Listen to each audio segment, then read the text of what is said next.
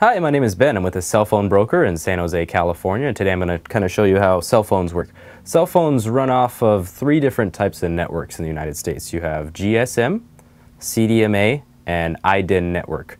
iDEN is what Nextel network utilizes. That's what allows you to use the walkie-talkie service.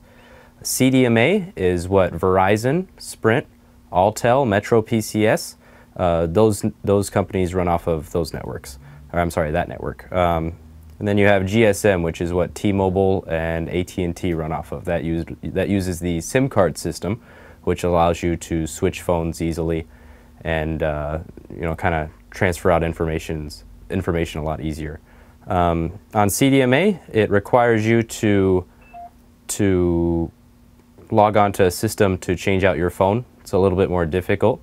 Um, on, like I said, on GSM, you can just take out your SIM card, switch out the phone, and, and you're ready to go. On the iDEN network, the only company that uses that is Nextel, and it is, uh, it is you know, mainly focused towards business users, construction users. They have some very durable phones, and that, um, that's how that works.